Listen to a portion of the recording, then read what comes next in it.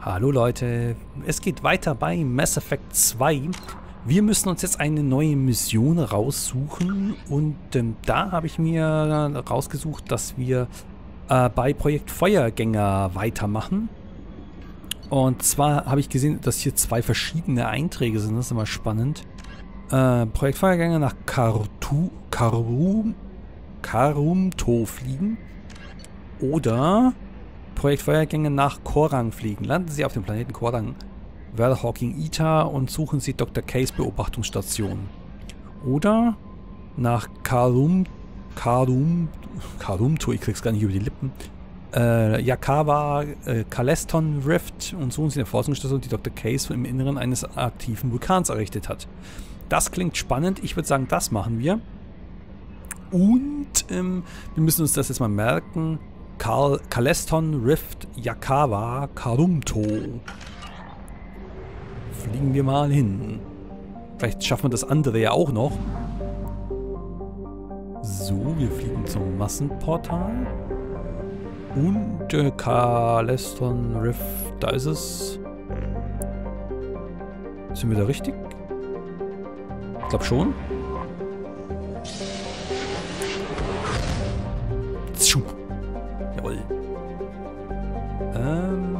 Da, Feuergänge. Ich muss mal bloß schauen, ob wir...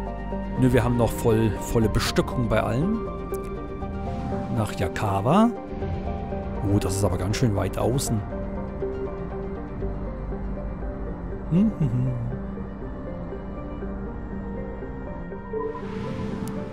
So, da dürfen wir uns nicht großartig verfliegen und dann werden wir hier... Dankeschön, Edi. Ah, hier. Starte Sonde. Da ist etwas auf unseren Sensoren. Anomalie geortet. Forschungsstation im Inneren des Vulkans auf der Planetenoberfläche geortet. Die Datenspeicher des, der Forschungsstation sind noch aktiv und enthalten möglicherweise wertvolle Informationen. Warnung. Vulkan ist instabil. Äußerste Vorsicht ist anzuraten. Oha, oha, oha. Hm. Da müssen wir mal gucken, äh, was uns da so erwartet. Innerhalb eines Vulkans. Wer ist denn auf so eine nette Idee gekommen? Mein gut, es ist immer schön kuschelig warm, aber doch ein bisschen ungemütlich auf Dauer, oder? Naja. Naja, das ist, lässt sich auch köstlich drüber philosophieren. Äh, es ist wieder eine, eine ähm, Cerberus-Aktion, deswegen nehme ich die zwei Cerberus-Leute mit. Hallo? Aha, okay, da haben wir noch einen Punkt, den vergeben wir nicht. Und die Waffen, ich denke mal, die passt so. Ah. Und wir fliegen wieder mit unserem Hammer. Das ist ja voll der Hammer hier.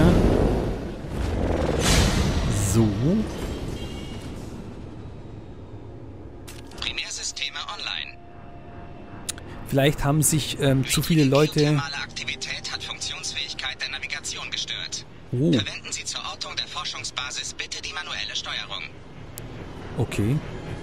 Ähm, wahrscheinlich ui, äh, haben sich dann äh, zu viele Leute gemeldet und haben ihr Bedauern ausgedrückt, dass es keine, keine Makromissionen mehr gibt. Und dann haben sie das hier nachgeschoben mit dem Hammer. Ja,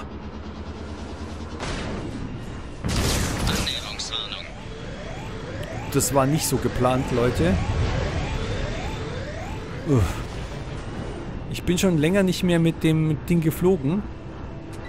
Deswegen äh, habe ich jetzt da leider die falsche Taste gedrückt immer. Äh, ja. Ich, ich weiß nicht, ob ich da jetzt was verpasst habe. Deswegen schaue ich dann nochmal nach oben. Aber sieht man nicht so aus, oder?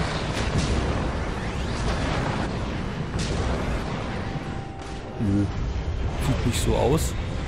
Da wollten wir rüber. Oh, da scheint es aber auch noch rüber zu gehen. Sollen wir mal als erstes da rüber schauen? Ah, ich bin unschlüssig.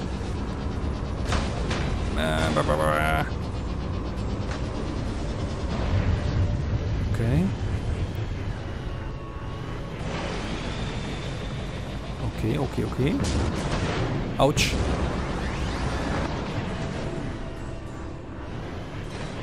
Ja, und jetzt? Ah, da. Alles klar. Evakuierung abgeschlossen. Wie Evakuierung abgeschlossen. Hindernis geortet. Oha, oha. Da ist noch was. Da ist noch was. Ich könnte jetzt... Aha, da hinten ist eine Höhle. Und da kommen wir rechts hin. Vielleicht kommen wir aber auch links hin. Mal gucken.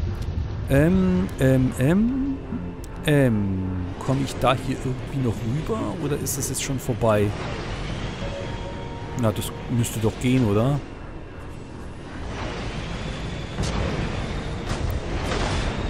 Ui. Ah. Ich verstehe, was er meinte mit instabil. Äh, ich weiß nicht, ob ich da rüberkomme. Soll ich es mal versuchen? Ach, ich versuch's mal. Das, äh, der Hammer ist ja sehr stabil. Ah. Sehr schön. Hindernis geortet. Aha, okay, ich glaube, da... Oh, da war ich schon.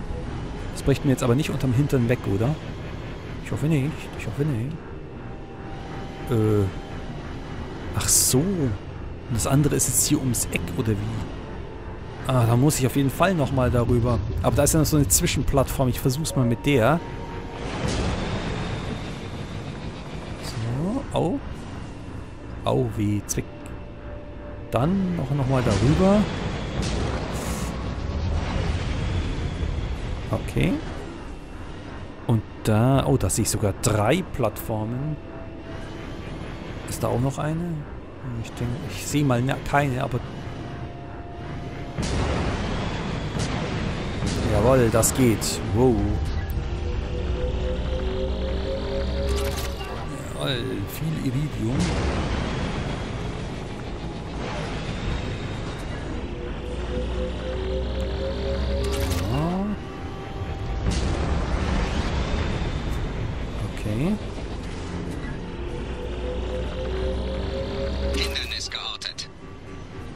Alles klar, da drüben sehe ich jetzt wirklich keine. So. So. Wow, seht euch mal die ganze Lava da an.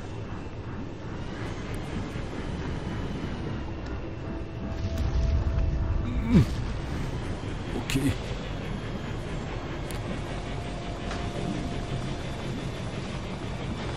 Ah, da ist noch einer. Forschungsbasis voraus. Im Inneren des Fahrzeugs gilt ständiges Rauchverbot. Das ist auch ein lustiger Hinweis. Da können wir auch noch hoch. Aber ich würde sagen, als erstes schauen wir mal in die, in die äh, Basis und gucken uns mal nach den Informationen um, die wir da offensichtlich beschaffen müssen. Ach ja, was würde der Cerberus nur ohne uns tun?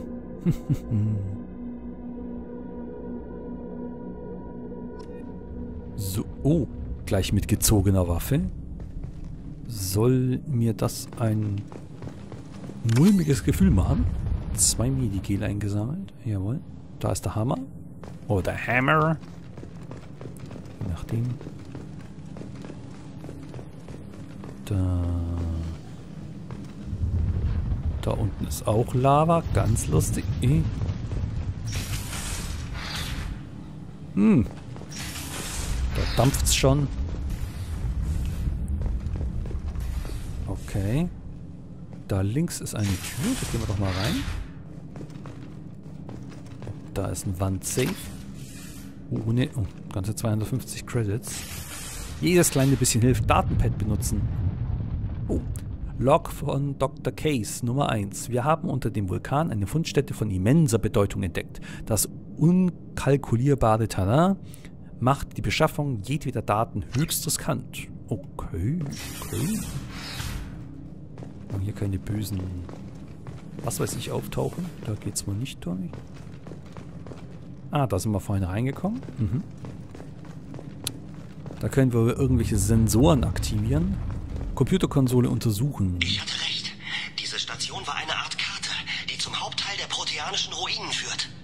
Dr. Oloy und ich sind uns einig, dass das um jeden Preis ein Geheimnis bleiben muss. Ich lasse Prime noch einmal passiert. Die Geth, die Reaper, sie alle, sie müssen aufgehalten werden. Okay, sehr dramatisch. Oh, da kann man was umgehen, das machen wir doch auch mal gleich. Aha. Die beiden passen zusammen. Das sind die zwei Pfeilsymbole, die zwei Widerstände und die zwei Cs. Das war ja einfach. Das hätte ich auch im Schlaf geschafft. Okay, was ist hier jetzt? Aha. Raffiniertes Iridium kann man hier noch einsammeln. Das ist schön. Was haben wir hier? Oh, da ging doch gerade was an, oder? Ah. Auch ein netter Effekt, aber sonst kann man hier wohl nichts machen. Das war nur, um ein bisschen Iridium einzusammeln. So, dann würde ich sagen, was haben wir hier? Spind öffnen. 125 Credits. Da kann ich Sensoren aktivieren, da kann ich Terminal benutzen, das mache ich natürlich auch noch. Alles ausnutzen, wir wollen ja in Informationen gelangen.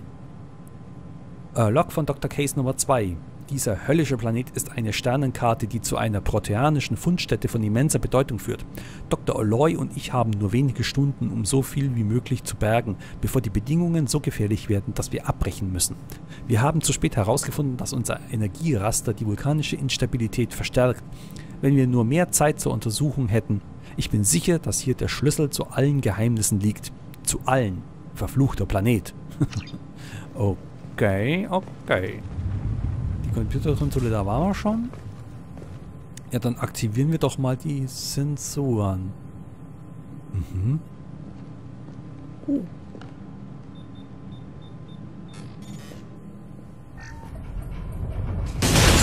Uh. Boah, Leute. Ich will nicht so erschrecken. Uh. Aktivierung des Energierasters der Forschungsbasis hat weitere vulkanische Instabilität ausgelöst. Empfehle sofortige Abreise. Ui.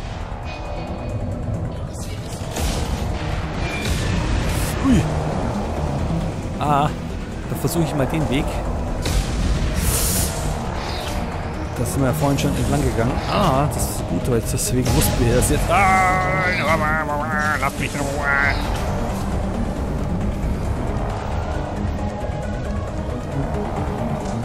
Da ist unser Hammer.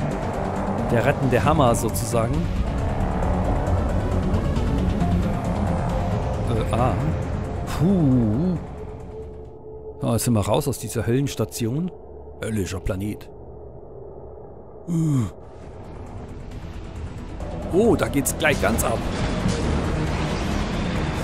Ach, und jetzt können wir da auch weiter. Aha, okay. Das wusste ich nicht mehr. Uh. Autsch. Okay.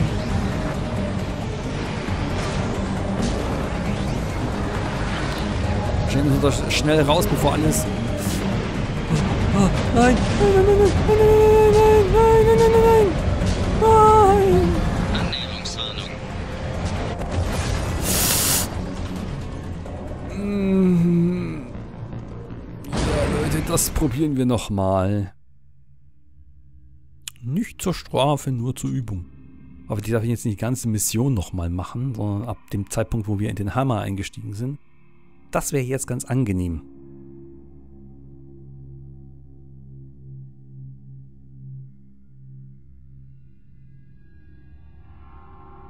Hm, lädt ganz schön lang. Ist ja auch ziemlich turbulent, das Ge Gelände hier. Äh, was, macht denn, was machen wir denn auf der Citadel? Äh, okay Leute, ich lade mal den richtigen Speicherstand und dann sehen wir uns gleich wieder. Bis dann. So Leute, keine Ahnung, was jetzt gerade los war, warum der mit dem falschen Speicherstand geladen hat. Das Citadel sind wir ja schon seit einigen Parts nicht mehr. Ui.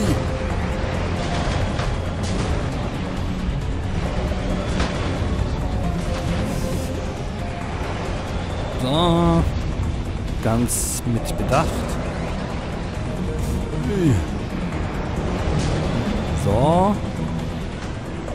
Wahrscheinlich da lang. Ui. Oh, da ist auch noch mal was zum Einsammeln.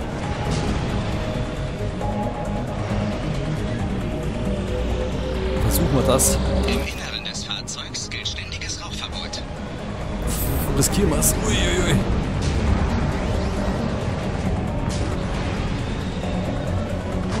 Ah, da geh schon durch.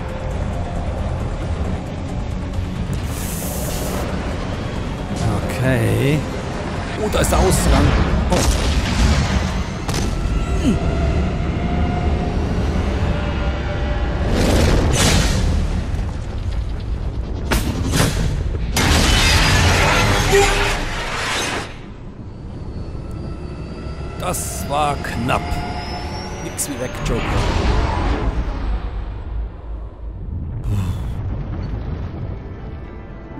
Missionszusammenfassung.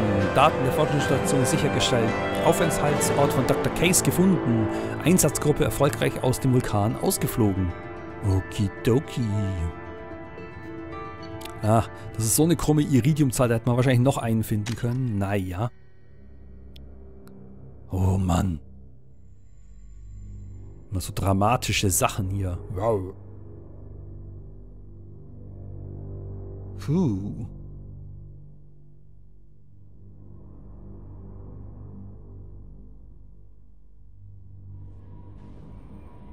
So, jetzt sind wir wieder zurück, Leute. Und ich würde sagen, wir stürzen uns gleich in den nächsten Codex-Eintrag zum Thema Organisationen. Die Bl Eclipse, eine Idee der Asari-Kommandokämpferin Jonah Sedaris, war als proaktive Sicherheitsfirma geplant. Beeinflusst von der Militärdoktrin der Asari und der Salarianer ist Eclipse spezialisiert auf Sabotage, Attentate, Gebäude- und Personenschutz. Im Citadel-Sektor stieß die Firma auf großes Misstrauen, aber im skylianischen Randsektor und den Terminus-Systemen wurde sie rasch sehr beliebt. Von Anfang an strebte Sedaris Verträge mit Regierungen an, um ihren Marktanteil gegen die etablierteren Blue Suns zu behaupten.